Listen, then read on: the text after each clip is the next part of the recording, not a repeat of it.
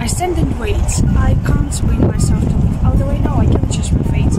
And from the roof of the house, a little water runs down into the gutter.